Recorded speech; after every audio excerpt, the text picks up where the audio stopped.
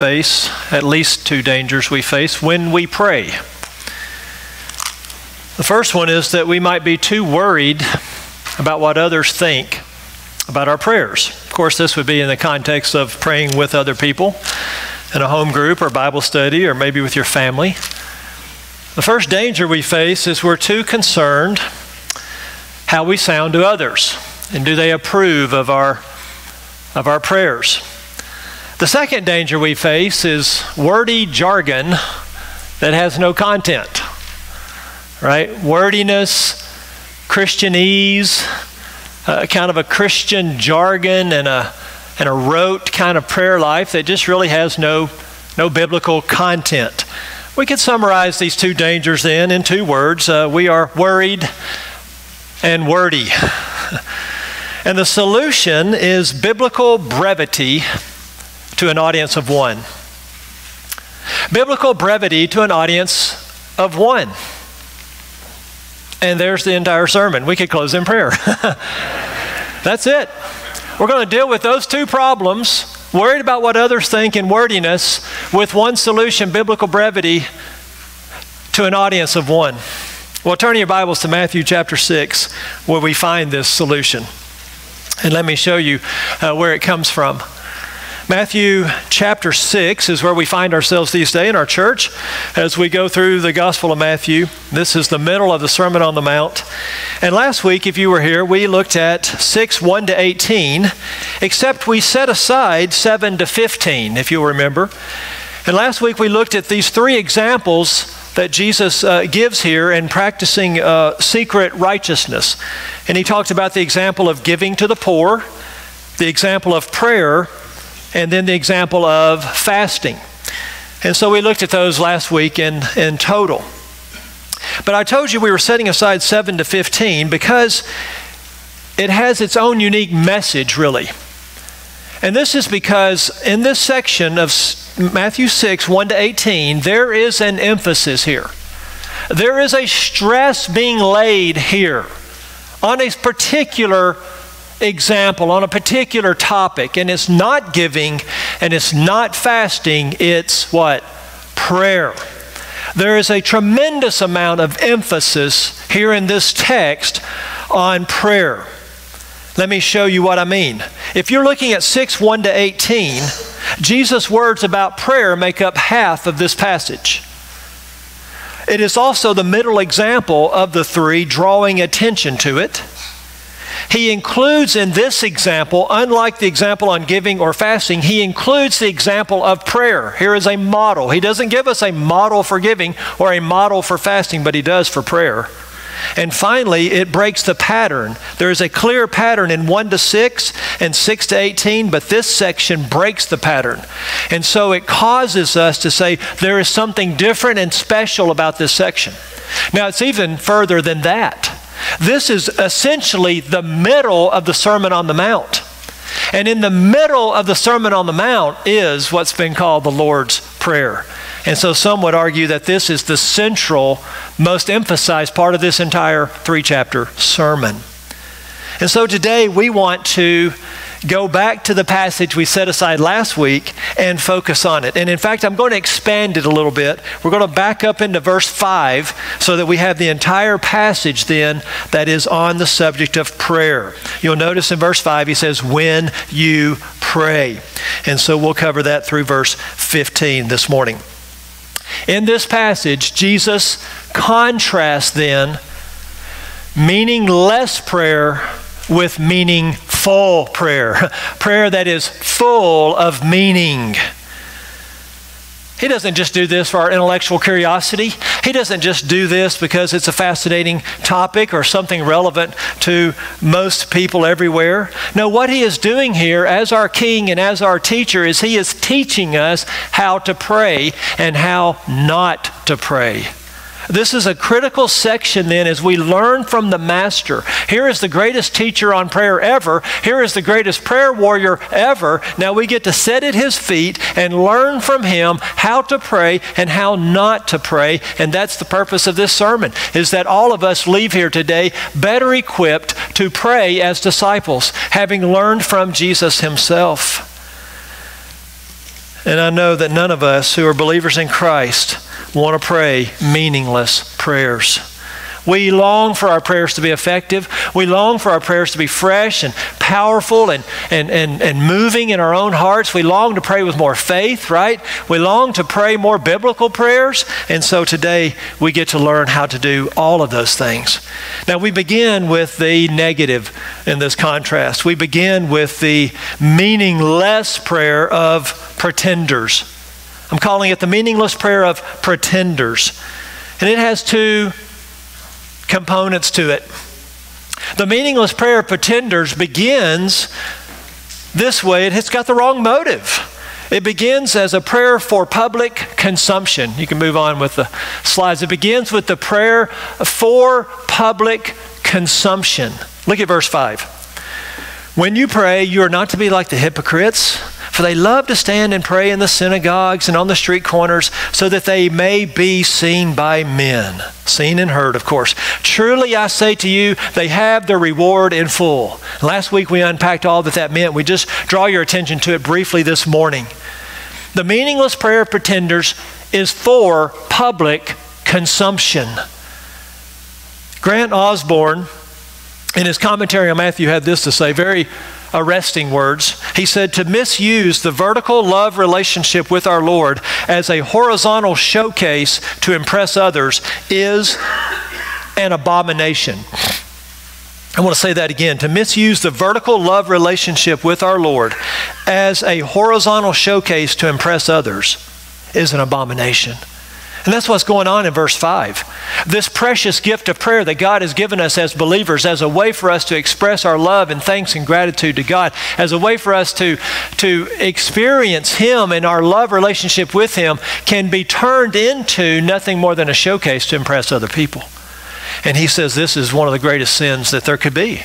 This is an abomination before God that He would give such a gift and it would be so perverted. And so that's certainly a way for us to pray meaningless prayers. More worried about how we sound to others and whether they approve or not is going to take us there very quickly, isn't it? Now, the second thing we learn about the meaningless prayer pretenders is that they pray with verbosity or verbosity. They're very ver- verbose. It's lots of words, it's lots of verbiage. Look at verses 7 and 8. When you are praying, do not use meaningless repetition as the Gentiles do, as the pagans do, as the ethnicities do. Don't do it, he says, for they suppose that they will be heard for their many words. So do not be like them, verse 8, for your Father knows what you need before you ask Him. And so the meaningless prayer pretenders is filled with meaningless repetition, verse 7. This, this word, meaningless repetition, is literally the word stutter. It's to stammer, it's to babble, it's to blah, blah, blah, blah, blah in our prayers. Just repeating the same tired, worn out, trite phrases over and over and over again. He says, Don't do that. That's the way, that's the way unbelievers pray. That's the way Gentiles pray as he addresses his Jewish audience. In his day, the Gentiles would use chants in their prayer. Uh, they would, they would repeat over and over incoherent syllables of gibberish as they would pray to this God of rain over here, and this God of war over here, and this God of fertility over here. This is how the Gentiles would pray. They had gods for everything, and they piled up their words to each God to try to get that God's blessing. They would try to manipulate that God, they would try to coerce that God to give them more cows or more chickens or more rainfall and crops. It was all couched in superstition and false religion and idolatry. Because these were not real gods, of course. They were deaf and they were blind and they were helpless to answer these prayers. And so, given the fact that they're unbelievers, given that these Gentiles are praying from a foundation of doubt to begin with, they have to constantly pile on the words trying to be heard. They hope to be heard for their many words. They were just like the prophets of Baal. They're on Mount Carmel praying and cutting themselves and crying out to their gods all day.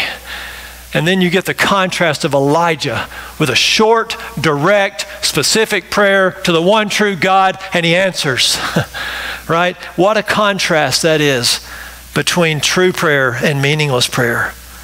But it's interesting. Jesus points out Gentiles here in verse 7, the nations.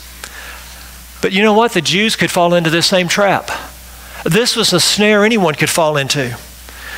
In fact, it was well known among Jews and among Pharisees that they would slip into a rote religion. They, they would slip into a kind of religion that wasn't from the heart, right? Jesus would even say this later You honor me with what? Your lips, but your heart is far from me because their prayers and their service and their words weren't from the heart. In fact, did you know the Jews of Jesus' day, they had 18 18 benedictions that they would say two to three times a day. These, these formulas of blessed be to God. And in and of themselves, they're, they're great. Many of them came from the Psalms, but they had these 18, and they had to say all 18 of them two to three times a day. And so it just became meaningless what? Repetition. Now look at this in verse 7 and 8. Jesus is acknowledging what the Gentiles are doing. They're praying to these idols, right? And he says in verse 8 to his disciples, Do not be like them. Don't even resemble them. Don't even get close to them. Why not? For your Father. Your Father knows what you need before you ask Him. These idols, they don't know what they need before they ask. These idols are dumb and stupid. But your Father, singular, your Father is real, and your Father hears, and your Father knows. You can't inform God. So, one of our first lessons here in prayer, by way of contrast, is if you're informing God in your prayers, just stop it. you want some biblical counseling this morning? Stop it. All right? God does not need to be educated by our prayers. God does not need to be taught, counseled, or informed. Jesus is saying this here. We're not praying to an idol. We're not praying to something with no ears and no eyes and no knowledge. We're praying to our Father who knows us and knows what we need before we ask Him. He knows what we're going to say before we say it. He knows why we're going to say it. He knows how we're going to say it. He knows where we're going to say it. Not a word comes out of our mouth that He doesn't altogether know it beforehand. And so we can inform Him. We just simply make our direct request of Him. So, this is then the meaningless prayer of pretenders and unbelievers. It is for public consumption often, and it is with verbosity. Now, we need to apply this. We need to ask this question What are today's examples of meaningless repetition? What are the ways that this is going on in our day and age? Well, there's a couple of really low hanging fruit here I'm going to just uh, take advantage of. Just obvious.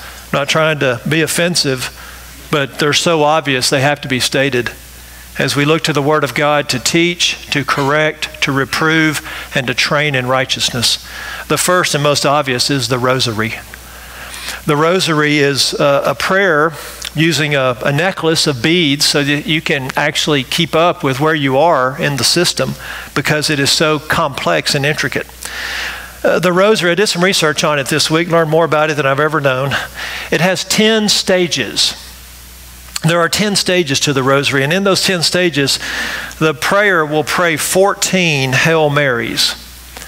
Now, I didn't even know what that meant. I read that. Uh, a Hail Mary, it's actually an entire paragraph. It's not just saying Hail Mary. It's not just saying, oh, Mary this or that. It's an entire paragraph. And so in the rosary, if you complete all 10 stages, you're saying 14 of these paragraphs.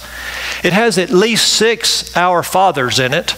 That's their description of what's commonly called the Lord's Prayer. Better term for it would be the Disciples' Prayer. It has six of those. It includes the Apostles' Creed. Several other uh, doxologies are mixed in. Uh, and, you, and you go through this and includes these mysteries, these four mysteries that you must uh, acknowledge and, and work through. And, and certainly that is an example of, of meaningless repetition. Here's another one low hanging fruit, indeed. I, I would call it the gibberish of tongues. The so called prayer language that is so popular among so many. Uh, private prayer language that some have adopted, and it's really gibberish. It's nonsensical syllables strung together. It's learned behavior. It's not biblical. It's not taught in the Bible. It's not encouraged in the Bible. In fact, I believe this verse right here is actually condemning it. I believe verse 7 is actually speaking to exactly that issue. It is so close to what the Gentiles were doing of Jesus' day, it's scary. It really begins to look very similar to the mantras that go on in Eastern religions, where God is denied completely. I'm talking Buddhism and Confucianism and these kind of things in Eastern religions, where, where they get into a trance like state by restating these mantras over and over again. And so this is not only probably clearly unbiblical, it's perhaps dangerous. And the Bible does not support it, and the Bible does not encourage it. I think this is some, uh, another clear example of what Jesus is here teaching us not to do. He says, They suppose that they will be heard for their many words. Do not be like them, verse 8. Now let's get a little closer to home, perhaps. Certainly closer to home in my life. Now I lay me down to sleep. Pray the Lord my soul to keep. That is meaningless repetition. It's not even a good prayer. It's not even biblical. It's not even remotely clear on the gospel. I, need to, I don't need to pray every night worried if God's going to take my soul or not if I die. Right? Where, where's the assurance of salvation in that prayer? And I understand we need to teach children, they need to memorize certain things. I understand that, but uh, let's, let's move on from that one. Here's another one I've been guilty of. Bless this food to the nourishment of our bodies and our bodies to your service. Rote religion, falling into meaningless repetition. We can just say it like a parrot. We can just voice these things over, not even thinking about what we're saying. It's so easy for us to fall into these traps essentially what Jesus would hear, I think if we want to apply this to our lives, would be just praying the same things in the same words in the same ways over and over and over and over again. Now, I'll be the first to raise my hand that that is a great challenge to resist. And if you're a praying person and the needs are generally the same day after day, and the people in your life you're praying for the same day after day, it is very challenging indeed to have fresh words and fresh prayers. I totally get it. I've been praying for real for over 30 years. I get it. But we need to challenge ourselves and we need to use the Word of God to dislodge ourselves from these rote, dead, meaningless, repetitionist prayers. You know, the most ironic example of all, the most ironic example of all is this prayer. The Lord's Prayer, prayed before many a Gentile football team before they leave the locker room. I'm not saying that's a bad thing, of course, but it's so ironic that as Jesus says, don't fall into meaningless repetition, the world has fallen into meaningless repetition with the very prayer that He gives us. And we want to make sure we don't do that.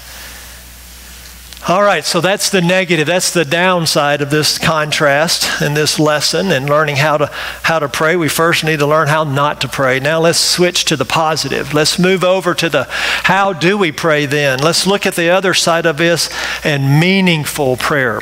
No longer the pretender and the unbeliever, but meaningful prayer of his followers, of his disciples. Well, in contrast to for public consumption, we begin with it's for an audience of one. It's for an audience of one. So look at verse 6. But you, when you pray, go into your inner room, close your door, pray to your Father who is in secret, and your Father who sees what is done in secret will reward you. He will hear, He will answer, He will literally pay you back. Secret prayer to a secret Father who hears and sees what's done in secret. We talked about this last week. It's literally going into your pantry, all right? It's going into your inner closet, closing the door, hiding from everyone else, praying to your Father in heaven. We also said last week this doesn't eliminate public prayers. Uh, we, it doesn't. We, that'd be going too far. It, it's a way to say, what is my motive when I pray to God? And so the motive should be for an audience of one. But then, secondly, this meaningful prayer of his followers is with what I'm calling biblical brevity. Biblical brevity. Look at it with me, verses 9 to 15. Pray then in this way. He doesn't just say pray then and gives us the words. He says pray then in this way, in this method, use this pattern, use this model, use this outline. That's what he means.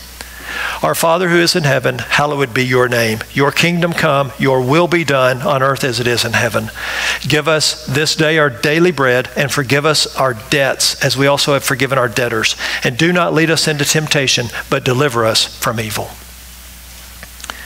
What is your first impression of that model prayer? It ought to be that it is short. it is short and simple, short and sweet. This is biblical brevity like none other. There's an economy of words here. There's a power of words here. There's not a throwaway word, there's not a wasted word. It is an amazing, an amazing model of prayer. Now, we could pick this prayer apart. We could parse every verb and, and, and dive into every detail and go word by word. And I think if we did that, we would miss the whole point of this prayer. This thing could be six sermons easily. And I think if we did that, sure, we'd gain from it, we'd learn from it, but we would miss the point of this model. This is a 15 second prayer. As one commentator said, it's not about length, but strength. Just say that to yourself when you're getting ready to pray. It's not about length, but strength. And there's some strength right here in these words. Commentator Don Hagner put it this way He said, In prayer, the disciple does not try to coerce or manipulate God. That's what Gentiles do, that's what pagans do. That's not what disciples do. He says there are no magical words or formula, nor does an abundance of words count with God. Short, direct, and sincere prayers are adequate. I'll go further than saying adequate. They are powerful, they are effective, they are meaningful. Short, direct, and sincere prayers. Now, this doesn't mean you can't pray for a long time. But that long time of prayer ought to be made up of a, a series of short, direct, and meaningful prayer requests. And we don't belabor the point. We don't go on and on and on and on, blah, blah, blah, blah, blah. Move on. Get to the next thing. I mean, can you imagine God up there just going, I got it, okay? Move to the next thing, right? So we can have long prayers. Jesus did. And, and certainly if we're in private, uh, there, there's nothing wrong with praying for a season and an hour of prayer because prayer can cover so much ground, right? There's so many things that fall under the umbrella of prayer. The, the point is not to belabor individual aspects of prayer. So Jesus says here very emphatically to his disciples, You, you command, pray therefore in this way. Now, let me give you some basic observations before we really take it phrase by phrase this morning and look at it closely. Let me give you some basic observations about this model prayer, and that's the first one. It's a model, it's a blueprint. You can even think of it as an outline. So we can take each category and, and let it launch us into extended prayer in that category. We'll do that, talk about that more later. Another observation of this prayer, as you look at it there, beginning verse 9, is it is first focused on God and then on us. The pattern of this prayer is God first and then me, my needs, our needs, right? And lo and behold, this actually follows the pattern of the Ten Commandments. Uh, so the Ten Commandments have an influence on this prayer model in that the first three commandments, the first four commandments, are focused on our relationship with God, and the next six on our relationship with each other. Here's another observation this prayer is filled, it is literally filled with pointed, direct, and bold requests. In the Greek grammar, they're actually commands. They're imperatives, which is common in the Bible for prayers. That's how bold and how direct our prayer requests can be. Not that we can command God to do whatever we want, but it has that flavor of directness to it. And so if you look at it with me just for a moment, I'll show you the commands here. Hallowed be is one. Your kingdom come, will be done. Give, verse 11. Forgive, verse 12. Do not lead, verse 13. Deliver, verse 13. So it is a prayer made up of then urgent requests. Here's another observation, very important. It is corporate in nature, isn't it? It is familial. It is our Father, not what? My Father. There is our and us and we. There is not my, me, or I.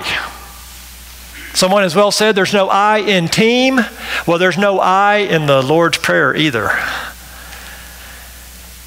It is corporate in nature. This is the prayer of the family. This is the prayer of the church. This is our prayer that we pray for ourselves and each other because we're not islands unto ourselves. We're not lone rangers. We're not living the Christian life by ourselves. We are living it together.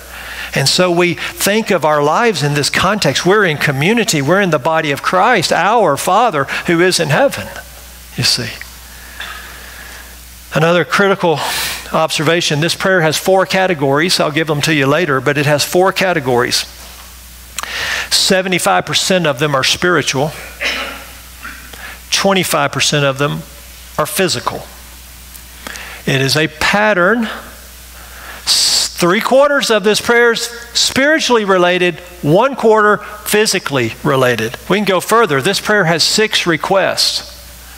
It has six requests, and only one of them is physical. Uh, that's 17%, I think. One out of six physical, five out of six spiritual. So, those are just some basic observations. We learn a lot from those.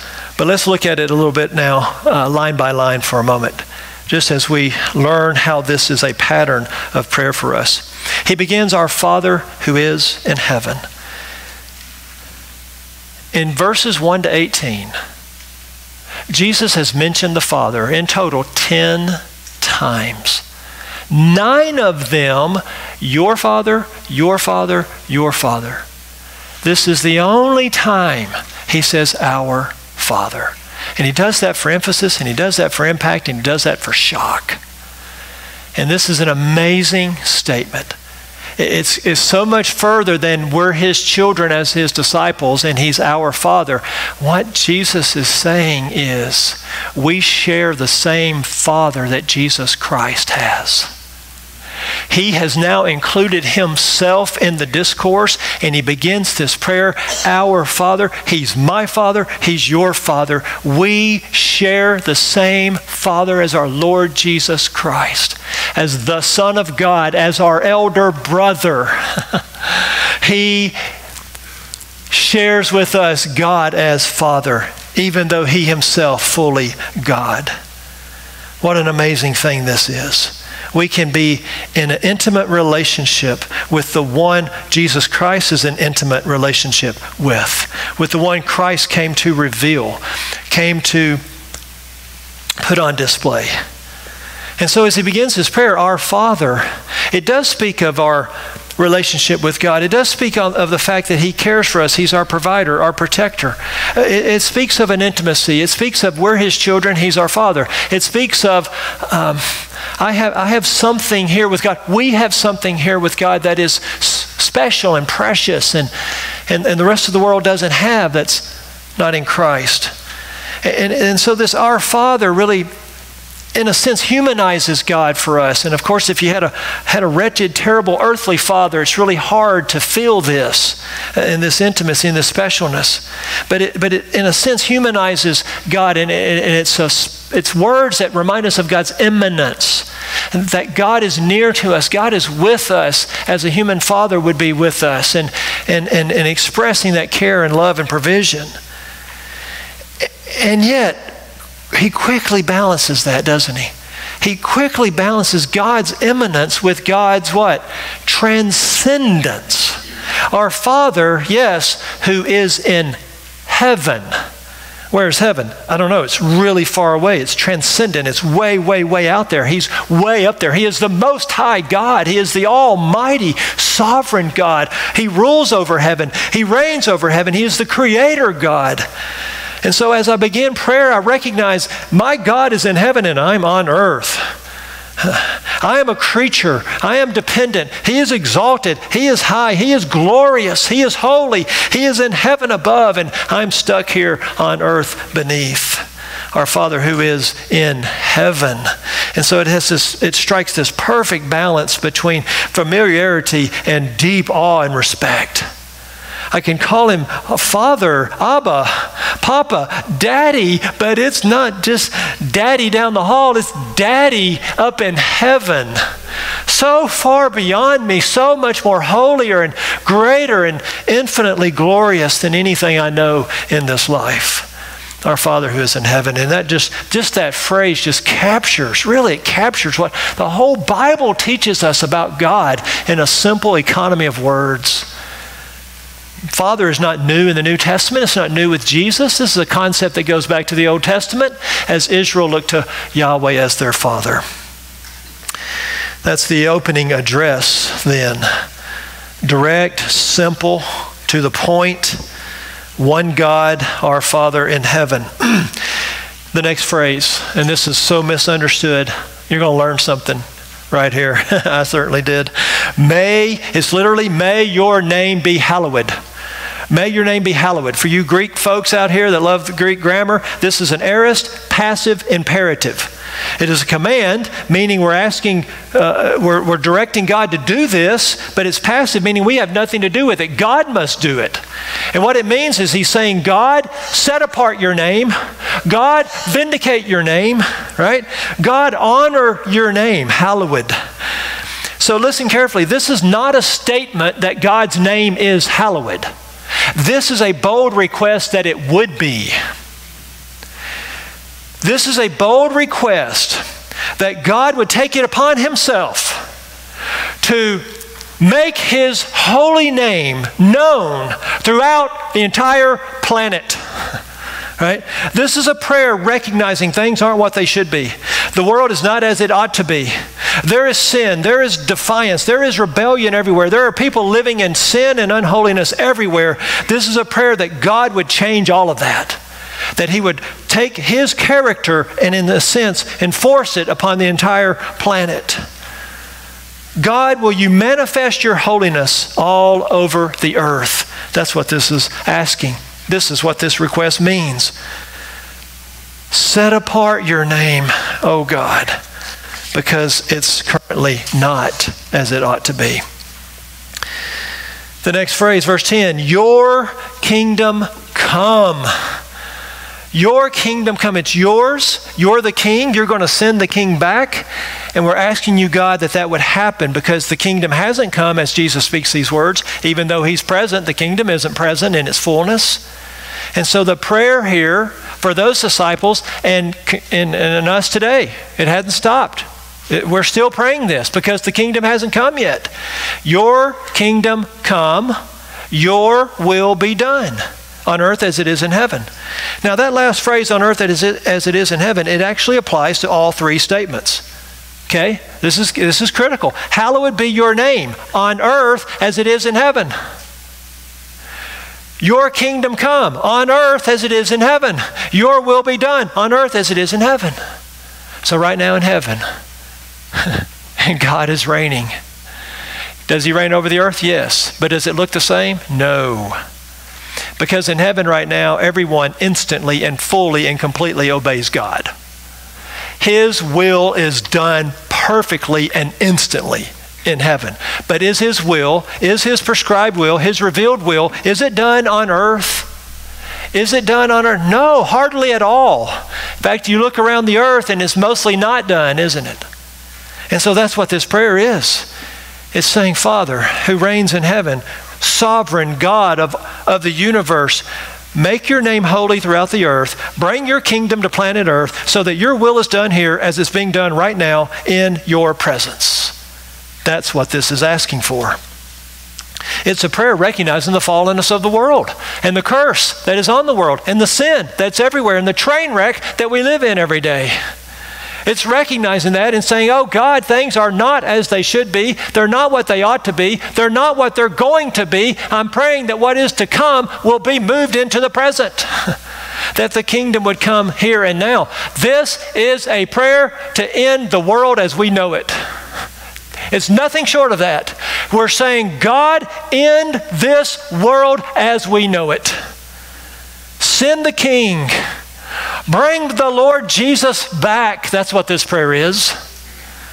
Send your son to conquer this world. Send your son to take over this world. Send your son to get what is rightfully his, to do what Adam failed to do, to do what Israel failed to do, to do what David failed to do.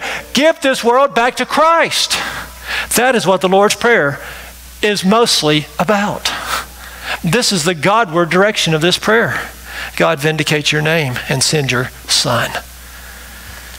This is an echo then of Ezekiel 36, if you'll go there with me. Ezekiel 36 is the backdrop of the Lord's Prayer. And we'll pick it up in verse 22.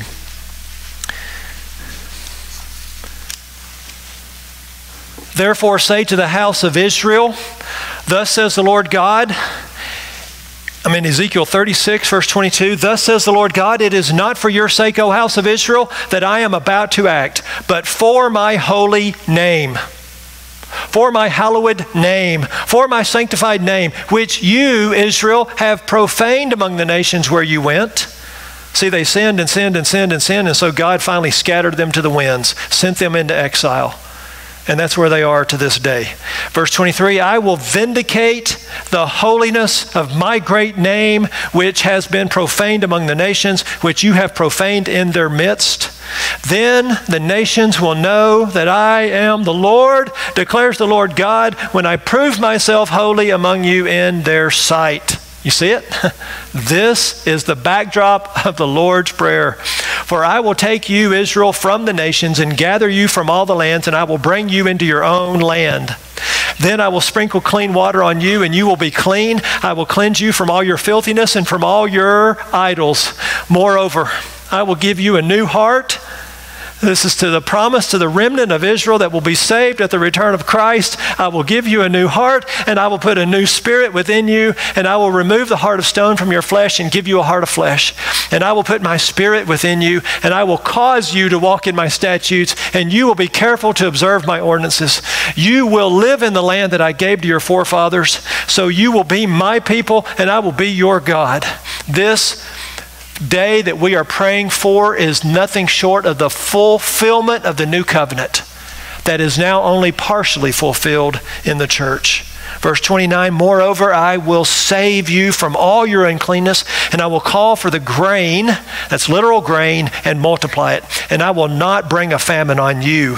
I will multiply the fruit of the tree and the produce of the field, so that you will not receive again the disgrace of famine among the nations. So great prosperity, great fruitfulness of the land. Verse 31 Then you will remember your evil ways and your deeds that were not good, and the kindness of God leading them to repentance. And you will loathe yourselves in your own sight for your iniquities and your abominations. I am not doing this for your sake, declares the Lord God. Let it be known to you. Be ashamed and confounded for your ways, O house of Israel. Thus says the Lord God On the day that I cleanse you from all your iniquities, I will cause the cities to be inhabited and the waste places to be rebuilt. The desolate land will be cultivated instead of being a desolation in the sight of everyone who passes by. They will say, This desolate land has become like the Garden of Eden and the waste, desolate, and ruined cities are fortified and inhabited. Then the nations that are left round about you will know that I, the Lord, have rebuilt the ruined places and planted that which was desolate. I, the Lord, have spoken, and I will do it. Thus says the Lord God. This also I will let this also I will let the house of Israel ask me to do for them. I will increase their men like a flock, like the flock for sacrifices, like the flock at Jerusalem during her appointed feast, so will the waste cities be filled with flocks of men. Then they will know that I am the Lord. This is the backdrop of the Lord's Prayer. Why should we pray this on a regular basis with faith and from the heart? Because this is what the kingdom will be like. It just blows my mind that people, many well meaning Christians, think that the kingdom is already present. Blows my mind. Here's what it will be like the love of God will be normal, it'll be commonplace. Everyone will know and love the Lord our God. Satan and demons will be serving their 1,000 year prison sentence in a pit. They're going to the prison called the pit. Israel, as I just read, will be finally repentant, physically saved, spiritually saved, renewed, repentant. They will recognize Jesus as their Messiah. Gentiles from all over the world will flood into Jerusalem. They'll get there any way they can. They'll walk, they'll ride a boat, they'll drive a plane, however they can get there. They'll get to Jerusalem because they want to hear the words of King Jesus. They want to sit at his feet as he is in that temple, prophet, priest, and king, giving out his word. They will bring their wealth into Jerusalem. They'll bring their offerings there. And it'll be a day where swords are turned into plows and guns into combines. There will be so much production that famine will be absolutely eradicated throughout the entire planet. Let the heavens be glad and let the earth rejoice. Let the sea roar and all it contains. Let the field exult and all that is in it. Then all the trees of the forest will sing for joy before the Lord, for he is coming, for he is coming to judge the earth. He will judge the world in righteousness and his peoples in faithfulness. That's Psalm 96. Many, many Psalms are actually describing the millennial kingdom and that one is no exception.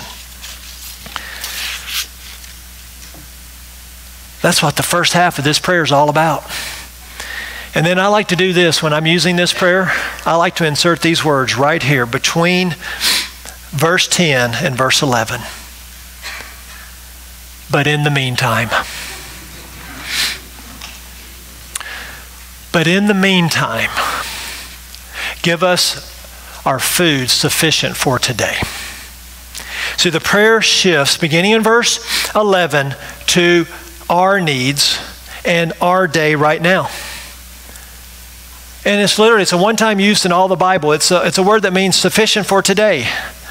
Give us this day our daily bread, our daily food. Now, this is not a gimme, gimme, gimme kind of prayer. This is God, I am taking one day at a time, and God, I am depending on you for everything. I depend on you for everything. Every bite of food, every drink of water, every stitch of clothing, every, every dollar that I get paid at work, every moment of, of existence, I'm depending on you. This is a complete reliance on God for all the physical needs of our life. Give us this day our daily bread. And then after this one and only request for the physical, it shifts to the spiritual. In the meantime, not only do we need to live, not only are we dependent on you as our Father, it's going to come from your hand. Every good gift comes from above, and every perfect gift comes down from above, from the Father of lights. It's going to come from you. We're just here to receive from you. And then these spiritual needs. Forgive us of our debts, as we also have forgiven our debtors. So the prayer moves then from I'm relying on you, God, for everything to confession of sin, right? Confession of sin. Personal sins, private sins. And I confess these sins in an attitude of willingness to forgive others, right? So look at verse look at verse 12. Verse 12, you could just stamp integrity on verse 12. Pattern of prayer. I got to pray with integrity. I can't be coming to God asking Him to forgive me my sins, and I'm not willing to forgive someone else. There's no integrity in that. There's no honesty in that. There's no realness in that, right? So that's what this is all about. This is about an attitude. I'm going to ask God to forgive me of my debts against Him, my moral debts. I've sinned against Him. I've transgressed His law, and I need forgiveness. And so our prayer should have confession of sins. But I can't do this unless I'm willing to say, as we also have forgiven our debtors. Don't ask God to do for you what you're not willing to do for someone else. There's no integrity in that. Ask God to give you the grace to forgive others just as He has forgiven you. He goes on and he says, really, one thing in two phrases do not lead or carry us into temptation, but deliver us from the evil one, literally. It's rescue us from the devil, is what he's saying. Save us, God. Save us from Satan. That's what he's saying in verse 13. Not that God would ever tempt us, he doesn't do that right? So, this is a way of saying, God, I know there is a hungry devil. I know he's on the prowl. I know I am no match for him, God. And so I'm asking you, by your providence and by your sovereignty, to steer me away from his temptations. Just lead me in the opposite directions because I am weak and I am susceptible to fall. And God, I'm crying out to you. I need your rescue. This enemy is real. This is, a, this is how we fight wise spiritual warfare. So, category, confession of sin, category, spiritual warfare. And I'm going to fight it wisely with some really good self awareness, some really good self perception. That's what's going on in verse 13. Oh, if Satan came at me with all of his temptations, with the onslaught of everything he knows about me, and he dumps all that in my, I don't, I don't know if I could stand firm. I know God has made his provision. I know I could, but I know I'm also weak. The spirit is willing, the flesh is weak. And so I'm crying out to the God of the universe, my Father in heaven, who knows me intimately, and I'm asking him to steer me away from this and to actually rescue me and snatch me and save me from the evil one. Psalm 91:3 says, For it is He, God, who delivers you from the snare of the trapper from the snare of the trapper. And that is where the prayer ends.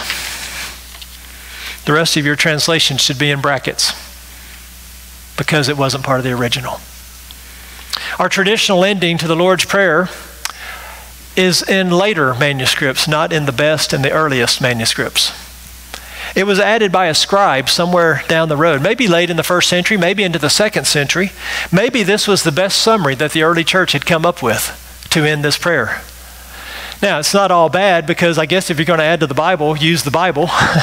He's pulling from 1 Chronicles 29 11. So, is it wrong to say this last phrase that is uh, there at the end, for yours is the kingdom, the power, and the glory forever? No, it's not wrong. You can make that part of your personal prayer, just, like, just as you can pray from the heart any, any prayers you desire. It comes from the Bible. It's true, it's accurate. It's, it's good, but it just wasn't part of the original. Just keep that in mind. So, Jesus, we ask you, how do we pray? He says, with biblical brevity to an audience of one.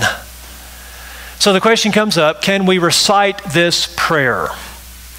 And my answer is yes. If you do it from the heart, if you do it mm, thoughtfully, right? If you do it with faith, if you do it mindful of the words you're saying, Uh, then certainly, yes, you can recite this prayer, you can memorize it, you can teach it to your children, you can pray it. Uh, it's no really different than the songs that we would sing at that level, right? It's we sing songs, that should come from the heart. We should mean it. We should we should be thinking about the lyrics. So yes, think about the words. But there's a yet better way, you know. I, I show you a better way than reciting it. And it is to let this prayer launch you into its four categories. And I want to spell those out for you as we just kind of begin to wrap up here. We're almost done. This prayer has four categories, and it's here as a pattern, it's here as a model, so it's going to launch us into these categories. And I want you to picture it this way it's like a hallway with four rooms. And you're going to go into one room and enjoy that room for a while. And you're going to pray in that room for a, a, good season. And then you come out of that room and you go into the next room, and the next room, and the next room. And that is a, a great pattern for prayer. Here's room number one. Category number one is worship in anticipation of the return of Christ and his kingdom come. So we begin with worship and adoration of God. And, and more specifically, not just generic worship, but God, I'm worshiping you and I'm pleading with you to send your son. He is my king. I want his name vindicated. And let that just fuel the beginnings of your prayer. And you go into that room and you can spend all manner of time in that room enjoying what's in that room. Right? You can spend an hour there and it not be meaningless repetition as you think through all the implications of the return of Christ and his kingdom come. Second category use your prayer time to express your dependence on God for every need of your life. You and I need to express this. God doesn't need to hear it. We're not informing Him, but we need to know it and we need to be reminded. I am not self made. I am not self sustained. I depend on God for what? Everything, everything. And so we need to express that. That's the second category. You go into that room and you and you just kind of lay down there for a while and you meditate and you and you marvel at how dependent you are on God. Third room is confession of sin. That's why I read 1 John 1 this morning. Confession of sin is a category of prayer and it needs to be a regular part of our prayers. Right. It needs to be a regular part of. Uh, we agree with you, God. I agree with you. That was sin. That was wrong, and we say that back to God.